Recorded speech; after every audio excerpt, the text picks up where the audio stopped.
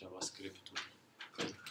To taky jakoby vytvořím, nebo tady eh, to sync tam mm, udělá to, že se jakoby naváže nějak na ty modely a potom tam nějak jakoby třeba vytvoří, uh, vytvoří uživatele a tady mm, vždycky jakoby po každém tom, tom třeba po ten create, tak jako má vlastně tady vrací promisu, to znamená jako potom, co se to stane, protože aby to neblokovalo ten zbytek, tak to vrací promisu a pak řeknu, jako pak už tam tu Jane má třeba.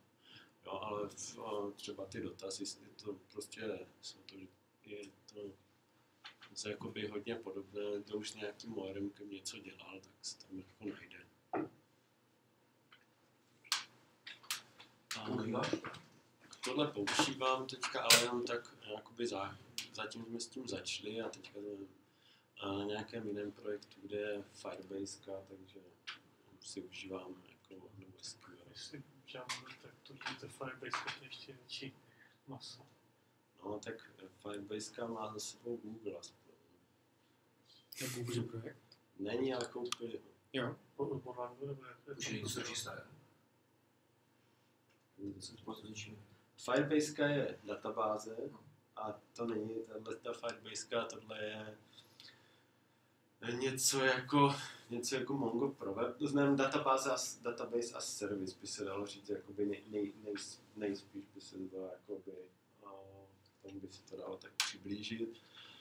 To znamená, máš nějaké nové, v podstatě dokumentové vložiště někde na webu, jsou k tomu nějaké SDKčka, to znamená, jako můžeš tam zapisovat data, můžeš je číst. Je tam docela příjemné, že jakoby to čtení je tam re, realizované tak, že uh, vlastně to čtení ti vrátí ty data, vrátí ti jako hook nějaký na ty data.